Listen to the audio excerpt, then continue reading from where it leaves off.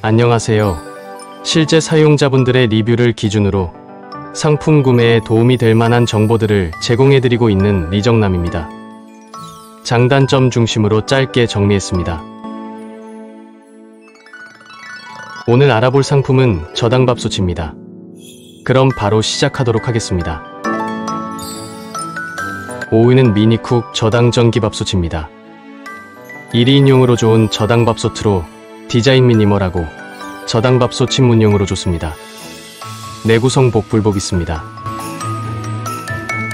4위는 칼로볼 전자레인지 저당밥솥입니다.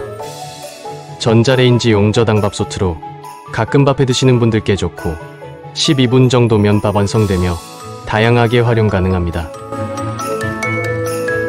3위는 스위쿡 저당밥솥입니다. 당질적 압률 높은 저당밥솥으로 환자 식용으로 좋고 작동법 간단하며 가성비 괜찮은 제품입니다. 2위는 쿠쿠 트윈 프레셔 저당밥솥입니다.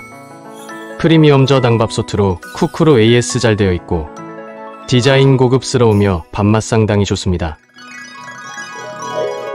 1위는 일렉트로지 저당밥솥입니다. 제일 리뷰 좋은 저당밥솥으로 1년 무상 AS 제공 중이고 작동법 간단하며 기본에 충실한 제품입니다. 시청해주셔서 감사드립니다. 구독과 좋아요 감사드리고 오늘도 즐거운 하루 보내시길 바랍니다.